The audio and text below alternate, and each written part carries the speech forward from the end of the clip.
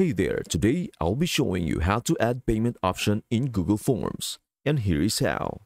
This tutorial will take you step by step through exactly what you need to do to get this done. You must first create a form. I will use this example from here. Have you subscribed? I will just change this to services. Maybe we should add prices and a description of the services. For example, we will add a channel review for $100. I am just adding services here.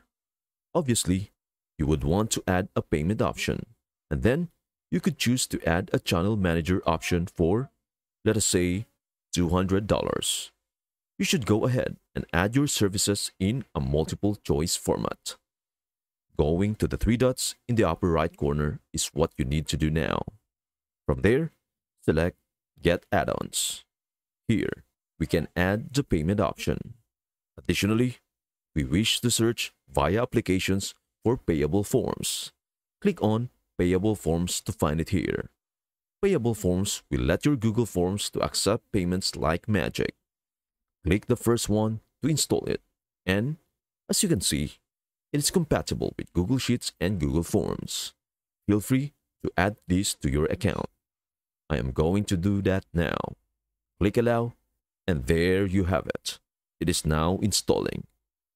After it installs, you will be prompted to click Get Started. At this point, you can modify the default language, your home country, and your currency. I will change it to USD. Finally, click Looks Good. This will instruct you on how to create your Google Forms. As you can see, you must make a form with the money option. The text to the left of the money will be used as your line item.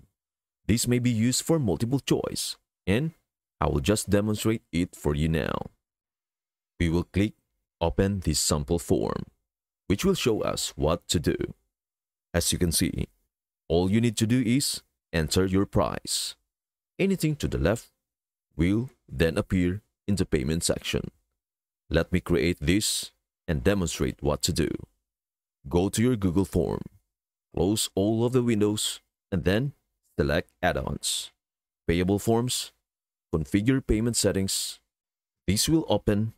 Next, click Auto Configure Form and Sheet, which will set that app and connect it to a Google Sheet that you can preview here. This will be the responses. As you can see, I added this in the incorrect way.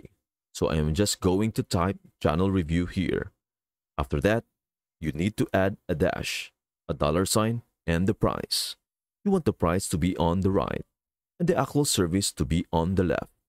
I have changed that to 100 and 300. After that, you want to connect a payment provider, so click on that. From there, you can select any of these payment providers. I will click on PayPal and it will connect to this add-on. After that, it will ask me to go into my PayPal account, which I will do right now and approve. This means that we are enabling PayPal to connect to this add-on. And you can see that it will be able to see certain items here. It will only be able to search for your transactions, which is all it can do. So that is good enough for me. Since this is a reliable add-on, we can move on to payable now. Now that is connected, as you can see, we will close this window and it will check to see if everything is connected. Alright, so my PayPal account is now connected. Let us proceed to make this form payable. If you want to change this, click Yes.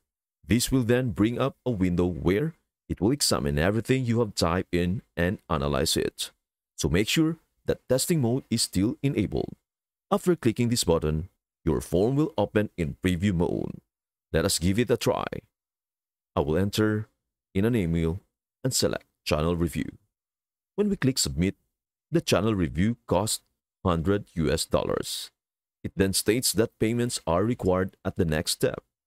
If users click this, I believe PayPal will be redirected. So, I am calculating the total now. Since this is in test mode, it will show you that it is free. However, this is how the receipt will appear when someone completes your form to exit test mode. Simply open Payable Forms by selecting Add-ons, Payable Forms, and Configure. Make sure testing mode is off and that the currency is set to the actual currency you entered for the price. That should work. I'm having some trouble with it, but we will try it again. Go send and copy this link. Obviously, adding a payment option in Google Forms is not exactly a great solution.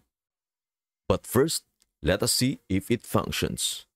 To do this, enter an email. Click Channel Review for $100 Submit Pay. This link, retype, find my order.